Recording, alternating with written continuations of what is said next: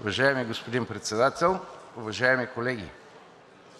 В историята на всеки народ има дати, свързани с героизъм, себеотдаване и извисяване в духа в определен исторически момент. Такава дата е днешната – 20 юли.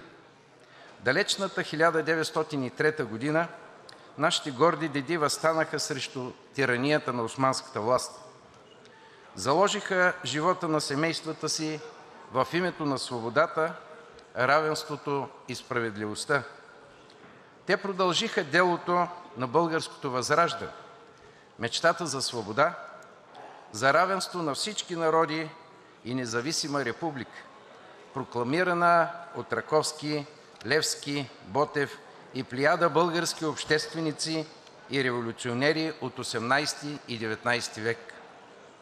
Илинденско-Преображенското въстание е венецът на българското национално освободително движение. Основание за това е броят на въстаниците – над 26 хиляди. В чисто географския мащаб на революционната борба, а освен това и фактът, че освен българи участие вземат и представители на други групи, като например власи и гъркомани. Моля за ред в Решението за организиране на това въстание е взето на Солунския конгрес на Вътрешната македоно-одринска революционна организация, тогава носеща името Тайна македоно-одринска революционна организация от 2 – 4 януари 1903 г., председателстван от Иван Гарванов. Мястото на провеждане е изпълнено с особена символика, защото това е Солунската българска гимназия, откърмила много от българските революционери в Македония. На Смилявския конгрес на Битолския окръг на Вътрешната македоно-одринска революционна организация се решава въстанието да започне в окръга на 20 юли – Илинден, на днешния ден.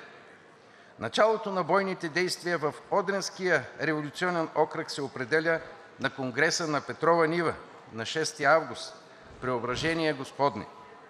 По-късно Серският окръг решава да се вдигне на 14 септември – Кръстовден. Османската власт хвърля огромни сили за потушаване на въстанието в Македония и Одринска Тракия, като изпраща над 350 хилядна войска. Въстаниците постепенно изчерпват сили. Равносметката на това въстание дава Христо Силянов, деец на Вътрешната македоно-одринска революционна организация, който пише: „Това беше гласът на първата клетва, положена преди 10 години от Дамян Груев в Солун и израсла в всенародно съзаклятие.